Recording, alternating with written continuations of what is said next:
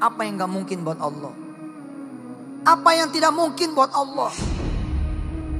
Hari ini saudara melihat anak-anak saudara bandel-bandel. Suami saudara mengecewakan.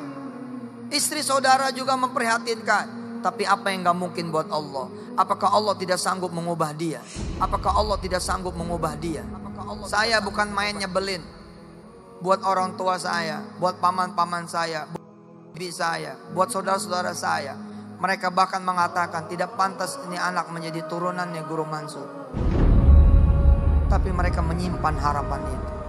Dan mereka terus believe bahwa anak ini insya Allah akan menjadi seorang kiai.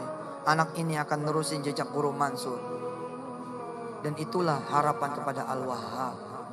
Ketika kemudian saya diizinkan Allah hidup terlunta-lunta, hidup terhina, masuk penjara, nggak ada lagi bantuan, nggak ada lagi pertolongan, nggak bisa ketemu orang, nggak ada yang bisa nemuin saya.